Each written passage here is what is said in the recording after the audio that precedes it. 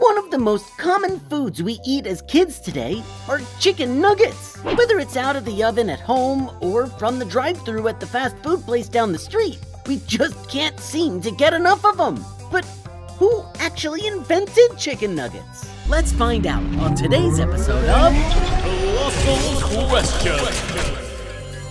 Just like many of our favorite modern foods, the origin of the chicken nugget is a bit murky, and no one can say for absolute certain who invented them.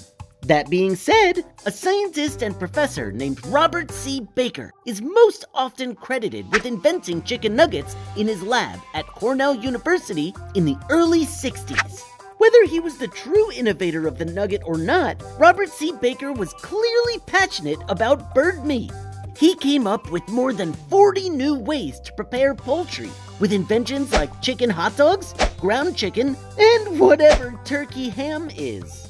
Okay, so that's who likely invented the fast food staple, but why was Baker trying to create a new concoction and how did he do it?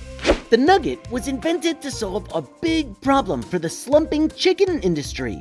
At the time, almost all chickens were sold whole, which kinda made it inconvenient. A whole chicken wasn't thought to be quite enough meat to feed an entire family, but it was definitely too much for just one person.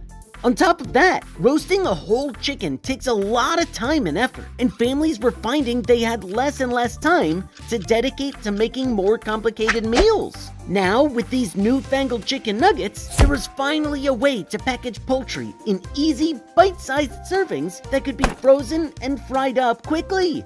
Problem solved! Baker's big innovation that made the chicken nugget possible was because of another one of his poultry creations ground chicken. He molded chunks of skinless, ground up chicken meat and covered them with breading. The breading is actually the key. It holds the morsels of meat together while sitting in a freezer or frying in a pan. And almost overnight, chicken went from a food not quite fit for a feast to one of the most popular proteins in the country all by turning chicken into a handheld, well, nugget.